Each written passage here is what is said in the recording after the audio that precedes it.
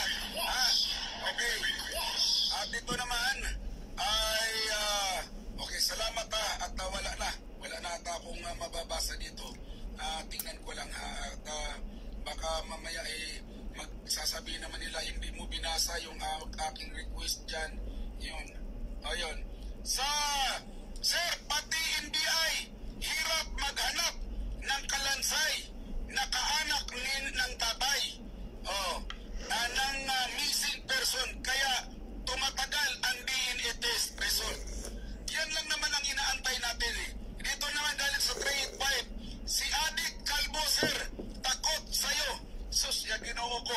Sabi ko nga yan, yung mag-amo na yan, kahit saan kami, pagsabihin nilang mag... Naku, kahit na mag-ibaan ang mukha, hindi ko uurungan yan.